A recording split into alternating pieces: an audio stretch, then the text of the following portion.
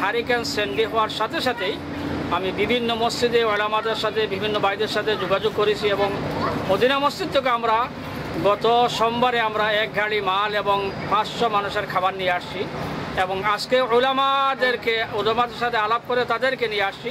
ওলামারাও এই খেদমতে হাজির হয়েছেন। ওনারা ব্লাঙ্কেট এবং কিছু ল্যাম্প নিয়ে আসছেন।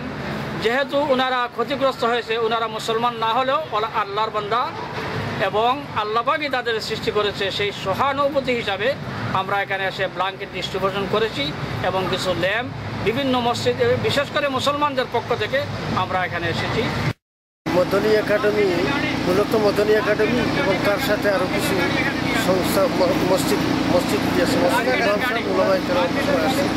এখানে যে হারিকেন বিধ্বস্ত হারিকেন বিধ্বস্ত এলাকা থেকে আমরা এদের জন্য আমরা সাহায্য করার জন্য এদের মূলত ওদের ওদের খোঁজ খবর নেওয়ার জন্য এবং তাদেরকে সম্ভাবনা কিছু সাহায্য প্রদানের জন্য।